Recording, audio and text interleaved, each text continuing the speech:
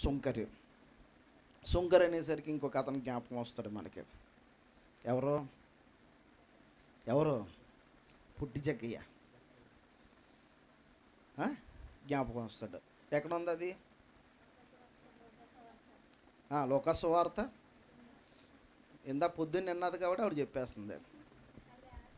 లోకస్వార్త పంతొమ్మిదో అధ్యాయము ఒకటో వచ్చిన ఆయన సంచరించుచు సంచరించుచు ఎరుకో పట్టణంలో ప్రవేశించి ఎరుగో పట్టణంలో ప్రవేశించాను. దాని గుండా పోవచ్చుంటాను ఇదిగో సుంకపు గుర్తుదారుడును ధనవంతుడనైన ధనవంతుడైన చెక్కయ్య సొంకపు గుర్తుదారుడు ప్లస్ ధనవంతుడైన జక్కయ్య.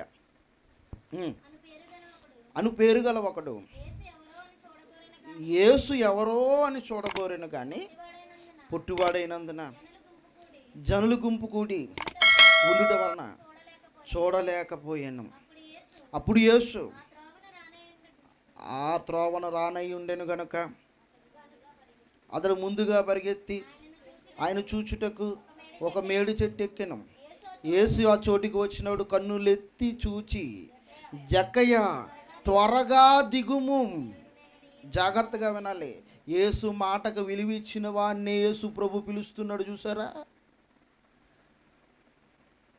అంత జనసమూహములో అంతమంది జనంలో శాస్త్రులు ఉన్నారో పరిచయులు ఉన్నారో సద్దుకాయలు ఉన్నారో పేరుగాంచిన బోధకులు ఉన్నారో పేరుగాంచినటువంటి గొప్ప గొప్ప వాళ్ళు ఉన్నారో భక్తులు ఉన్నారో యోధమత పవిష్ఠులు ఉన్నారో ఎంతమంది ఉన్నారు యేసు రాక కొరకు ఎదురు చూస్తున్నారు. ఇలా ఎదురు చూస్తున్న సమయంలో ఎంతమందిలో యేసుకు కనబడిన వాడు ఒక్కడే. యేసు మాటకు విలువనిచ్చినవాడు ఒక్కడే. ఆ ఒక్కడు సంఘంలో ఉన్నాడా? ఆ ఒక్కడు సంఘంలో ఉన్నాడా? ఆ? ఒక్కడు తన వెంబడించినవాడా? ఆ ఒక్కడు ఎవరు? ఆ ఒక్కడు ఎవరు? లోకమంతా పాపి అని లోకమంతా సొంకరి అని లోకమంతా ఇతర కఠినాత్ముడని లోకమంతా ఇటు కఠిన హృదయులుడని ఈ డబ్బులు వసూలు చేయడంలో కనికిరాని చూపని వాడని ఒక సొంకరిని లోకమంతా ఎలా చూస్తుంది అంటే పాపిగా చూస్తుంది. పాపిగా చూస్తుంది. కానీ పరలోకము నుండి దిగి వచ్చిన ప్రభువుకి మాత్రం అతడు ఎలా కనబడుతున్నాడో తెలుసా? నా మాటకు విలువని ఇచ్చి అవసరమైతే సమస్తాన్ని విడిచిపెట్టేసేటువంటి మహాభక్తుడు అతనిలో కనబడుతున్నాడు నాకు. నా మాట కోసం అవసరమైతే చచ్చిపోవడానికి కూడా సిద్ధమైనటువంటి వ్యక్తి నాకు కనబడుతున్నాడు. మీకు సొంకరే కనబడుతున్నాడు. మీకు కఠినాత్ముడే కనబడుతున్నాడు.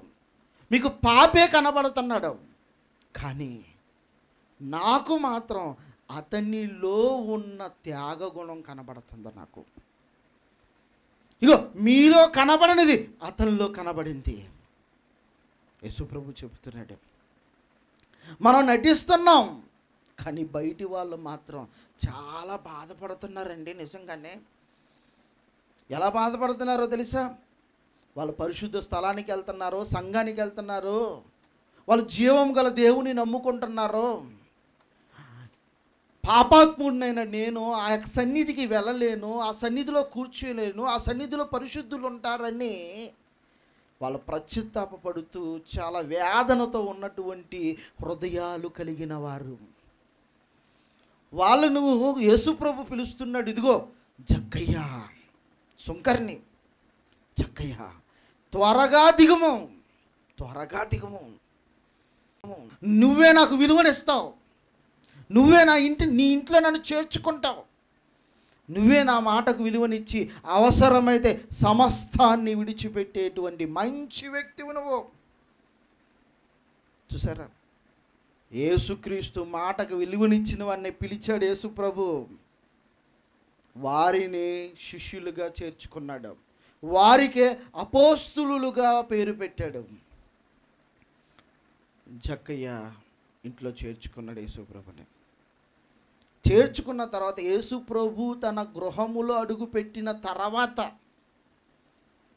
ప్రభు తన గృహంలో అడుగుపెట్టిన తర్వాత అతను అనుకున్నాడు నా ఇంటిలో పాపపు సొమ్ము ఉండకూడదు.